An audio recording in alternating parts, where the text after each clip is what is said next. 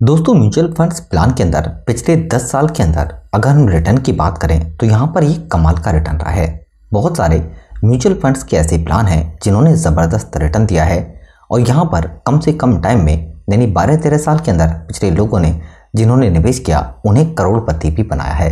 Mutual funds के अंदर, आपको एक से एक शानदार प्लान मिल जाते हैं, जिनमें अगर आपका टारगेट है, एक या डेढ़ करोड़ रुपये फंड बनाने का और इसके लिए आप ज़्यादा पैसे निवेश नहीं करना चाहते, तब भी पिछले 10 साल में म्यूचुअल फंडों ने कमाल का रिटर्न देकर बहुत सारे लोगों को कम पैसे से करोड़पति बनाया है। पिछले 10 साल में म्यूचुअल फंड्स के अंदर जो रिटर्न है, वो कंपाउंड बहुत सारे फंडों ने 25 से लेकर 30 परसेंट तक भी दिया है। यानी कि म्यूचुअल फंड्स में अगर आप आज भी निवेश स्टार्ट करते हैं और आपका टारगेट है कम पैसे निवेश करके एक बड़े फंड बनाने का तो आप कम से कम टाइम में एक बड़ा फंड आसानी के साथ बना सकते हैं।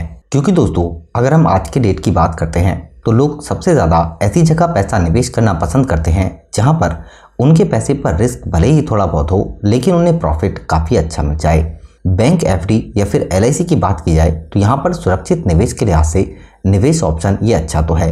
लेकिन अगर आप कम पैसे से एक बड़े फंड बनाने के बारे में सोचेंगे तो आप ये नहीं कर पाएँगे। साढ़े सात परसेंट सिंपल इंटरेस्ट रेट के हिसाब से आप अपने पैसे को बढ़ा नहीं पाएँगे।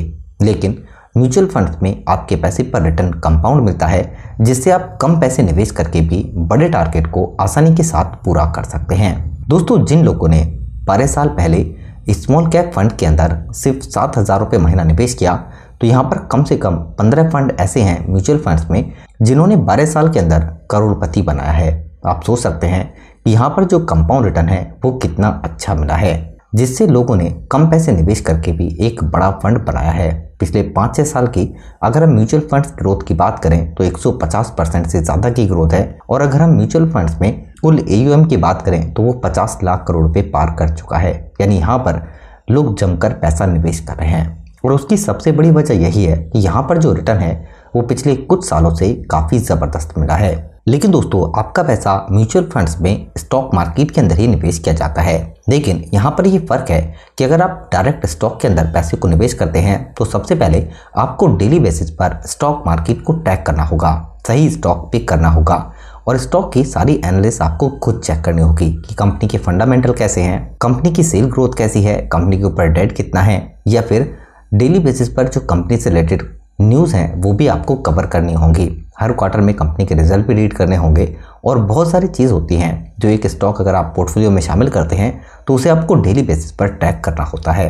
लेकिन अगर आप इतना झंझट नहीं पालना चाहते, आप चाहते हैं कि आप बस पैसे निवेश करते रहें और आपको एक बड़ा फंड मिल जाए तो दोस्तों म्यूचुअल फंड में आप आज भी कम पैसे निवेश करके एक बड़ा फंड आसानी के साथ बना सकते हैं। लेकिन साढ़े चार हज़ार से ज़्यादा म्यूचुअल फंड प्लान आपको मिलते हैं निवेश करने के लिए। लेकिन अगर आप कम पैसे से एक बड़ा फंड बनाना चाहेंगे तो आपके लिए कौन से प्लान बेहतर रहेंगे? सबसे ज़्यादा लोग अगर हम पैसे की बात करें तो वो एसआईपी के थ्रू या फिर लमसम पैसा निवेश करना पसंद करते हैं। लेकिन आप किस फंड में पैसा निवेश करेंगे? Small cap, large cap, mid cap या फिर डेट फंड के अंदर? अगर आप दोस्तों अपने लिए कम पैसे निवेश करके उस पर रिस्क ले सकते हैं तो आप स्मॉल कैप फंड की तरफ़ भी रुख कर सकते हैं। यहाँ पर भी पिछले कुछ टाइम से स्मॉल कैप कैटेगरी के फंडों ने काफ़ी बेहतरीन रिटर्न दिया है।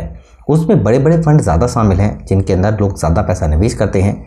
चाहे से हम उसमें Nippon India small cap fund की बात कर लें टाटा स्मॉल कैप फंड की बात कर लें एसबीआई या फिर एचडीएफसी स्मॉल कैप फंड की बात कर लें। लेकिन इसके अलावा भी कुछ ऐसे स्मॉल कैप फंड हैं, जो दोस्तों पिछले आठ साल पहले स्टार्ट हुए थे, उन्होंने एक ज़बरदस्त रिटर्न दिया है। हम आपके लिए एक ऐसा ही फंड लेकर आए हैं जो बैंक ऑफ़ इंडिया का है, दोस्तों ये फंड आठ साल पहले स्टार्ट हुआ था। दोस्तों उस टाइम पर अगर यहाँ पर किसी ने एक लाख रुपए निवेश किया होता तो आज उसके पास साढ़े आठ लाख से ज़्यादा का फंड होता, या फिर सिर्फ़ पाँच हज़ार रुपये महीना लगातार आठ साल से वो निवेश कर रहा होता तो आज उसके पास लगभग चौदह लाख रुपए का फंड होता। जबकि अगर आप बैंक एफ़ में एक लाख रुपए निवेश करते तो उसकी वैल्यू आज की डेट में सिर्फ़ एक लाख सड़सठ हज़ार की होती। तो इस बात से आप अंदाज़ा लगा सकते हैं कि इस म्यूचुअल फंड्स प्लान ने कितना ज़बरदस्त बेनिफिट आपको दिया है। तो आज हम इस वीडियो में इस प्लान की पूरी डिटेल्स चेक करेंगे, कैलकुलेशन करके भी समझेंगे कि कैसे यहाँ पर आप कम टाइम में भी एक बड़ा फंड बना सकते हैं। तो वीडियो काफ़ी नॉलेजेबल होने वाली है। बिना स्केप की वीडियो को लास्ट तक ज़रूर देखें।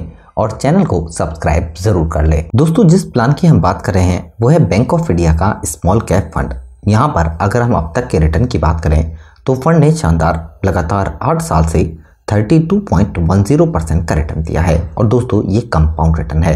यानी जिन लोगों ने सिर्फ़ पाँच हज़ार रुपये महीना इस फंड में निवेश किया तो दोस्तों, आठ साल में उनके पास चौदह लाख रुपए का बड़ा फंड है। लेकिन अगर आप यहाँ से भी इस फंड में निवेश करते हैं और आपको इससे चार पाँच परसेंट रिटर्न कम भी मिलता है, तब भी अगर आपके एक करोड़ रुपये फंड बनाने का टारगेट है तो उसे आप आसानी के साथ पूरा कर सकते हैं। क्योंकि इस म्यूचुअल फंड प्लान का जो पैसा है, वो सारा का सारा स्मॉल कैप कैटेगरी के जो स्टॉक हैं, उनमें निवेश किया गया है और कुछ पैसा मिड कैप और लार्ज कैप कैटेगरी के स्टॉक भी इसके पोर्टफोलियो में शामिल हैं। ये भी हम यहाँ पर चेक करने वाले हैं। लेकिन सबसे पहले अगर हम इस फंड के सिर्फ़ पिछले पाँच साल के रिटर्न की बात करें तो फंड ने 33.60 परसेंट का रिटर्न लास्ट थ्री ईयर में 31.53 परसेंट का रिटर्न लास्ट वन ईयर में 52.58 परसेंट का रिटर्न जबकि लास्ट सिक्स मंथ में फंड का रिटर्न शानदार 21.57 परसेंट से ज़्यादा है। लेकिन दोस्तों, इस फंड में आपको सिर्फ़ 25 परसेंट का रिटर्न मिलता है और आपका टारगेट है एक करोड़ फंड बनाने का और आप कम से कम पैसे निवेश करना चाहते हैं तो यहाँ पर कैसे और कितने पैसे निवेश करके एक करोड़ का फंड आप बना सकते हैं, लमसम या फिर एसआईपी के थ्रू। पहले हम ये चेक करते हैं, उसके बाद आगे इस फंड का रिव्यू करते हैं। दोस्तों, अगर आपको यहाँ पर रिटर्न मिल जाता है, सिर्फ़ 25 परसेंट का, जैसा कि फंड ने अब तक रिटर्न दिया है 32 परसेंट, उससे 7 परसेंट कम। यहाँ पर आपके पास ज़्यादा पैसे नहीं हैं निवेश करने के लिए, और आप यहाँ पर दो हज़ार रुपये मंथली निवेश कर सकते हैं। अगर आप यहाँ पर छः साल या फिर सात साल के लिए पैसे निवेश करते हैं तो एक लाख अड़सठ हज़ार सात साल में निवेश करके आप साढ़े चार लाख रुपए तक फंड बना सकते हैं, लेकिन आपका टारगेट है एक करोड़ रुपए फंड बनाने का। तो यहाँ पर इस टारगेट को आप पूरा कर सकते हैं उन्नीस साल के अंदर। यानी दो हज़ार रुपये महीना अगर आप आज निवेश स्टार्ट करते हैं तो आपसे उन्नीस साल के बाद आप सिर्फ़ चार लाख छप्पन हज़ार रुपये का निवेश करके एक करोड़ छः लाख रुपये का बड़ा फंड बना सकते हैं। या फिर कुछ टाइम और इस पैसे को आप निवेश कर देते हैं तो 24 साल में पाँच लाख छिहत्तर हज़ार निवेश करके आप तीन लाख सत्तर हज़ार रुपये का फंड बना सकते हैं। और दोस्तों, तीस साल तक अगर आप इस एसआईपी को कंटिन्यू रखते हैं तो सात लाख बीस हज़ार निवेश करके आप सोलह करोड़ रुपए तक फंड भी बना सकते हैं। या फिर आपके पास ज़्यादा पैसे नहीं हैं और आप लमसम पैसे निवेश करने का प्लान बना रहे हैं। पच्चीस परसेंट रिटर्न अगर आपको मिल जाता है और यहाँ पर आप सिर्फ़ बासठ हज़ार रुपये निवेश कर देते हैं। तो दोस्तों, अगर आपका एक करोड़ रुपये फंड बनाने का टारगेट है तो इसे भी इस फंड से आप पूरा कर सकते हैं। लगभग तेईस साल के अंदर। यानी आज अगर आप बासठ हज़ार रुपये इस फंड के अंदर निवेश करके भूल जाते हैं तो इससे भी आप एक करोड़ पाँच लाख रुपए का फंड बना सकते हैं, या फिर अगर आप तीस साल तक इस बासठ हज़ार रुपये को निवेश करते हैं तो यहाँ पर इस बासठ हज़ार से तीस साल के अंदर पाँच करोड़ रुपए तक फंड बना सकते हैं।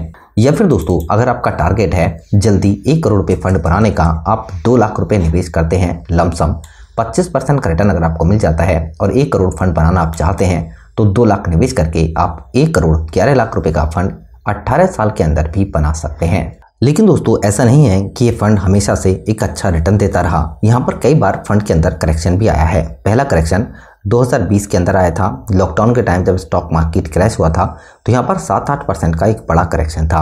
उसके बाद यहाँ पर स्टॉक ने अपना हाई लेवल टच किया और उसके बाद 2022 में भी एक करेक्शन आया था। उसके बाद शॉर्ट टर्म में फिर छः महीने बाद करेक्शन आया था।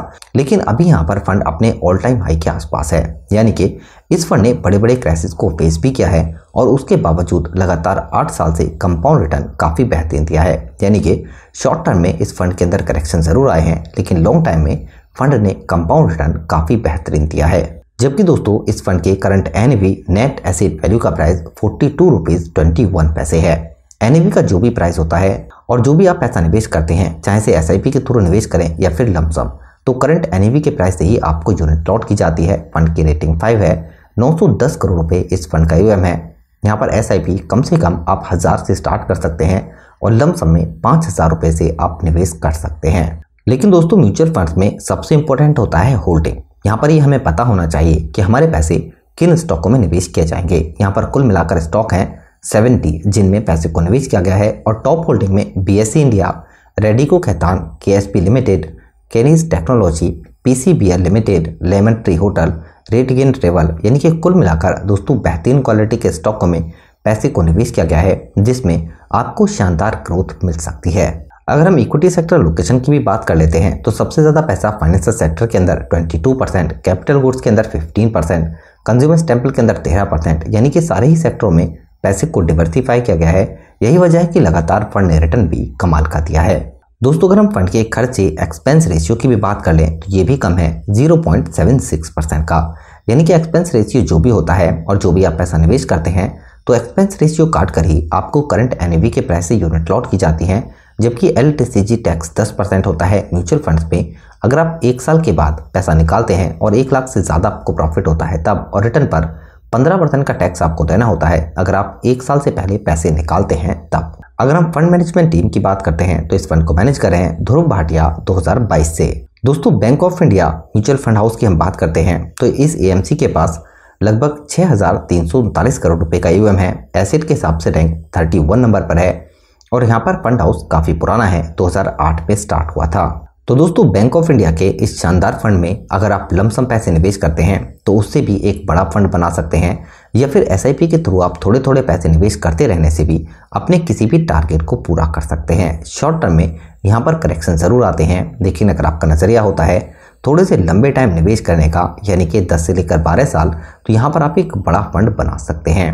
म्यूचुअल फंड स्कीम से रिलेटेड अगर आपका कोई क्वेश्चन होता है तो आप हमें ज़रूर बताइए। ये वीडियो एजुकेशन पर्पज़ के लिए है और हमारे इस चैनल को सब्सक्राइब ज़रूर करें और वीडियो को अपने दोस्तों के साथ ज़रूर शेयर करें। धन्यवाद।